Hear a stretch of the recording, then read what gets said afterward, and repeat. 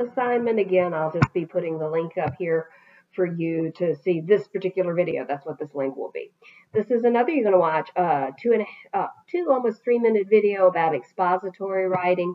Complete the notes just like you did. Okay, now day one was a reading assignment. Day two is a writing assignment. Okay, so the you do practice based on your reading from lesson one. That's the article that you chose to read. You will write one expository paragraph to explain the main idea of the article that you read. So you can use your notes from day one in order to help you with this. In fact, they should pretty much be your guideline. If you look down here, okay, you may choose to use your graphic organizer from day one to help you plan this.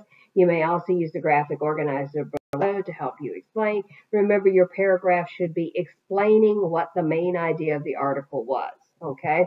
Your base, it's just basically a summary paragraph. Make sure your detail sentences support your topic sentence.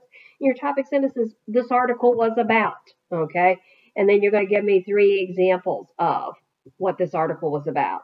And then a concluding sentence, something like, in summary, this article you know, told me about, okay? Uh, use the most important details and be sure those details are in sequence, okay? That makes sense.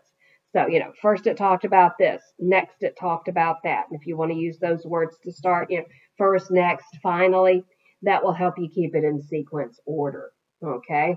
When you finish, read your paragraph aloud from start to finish to make sure the sequence of your details makes sense.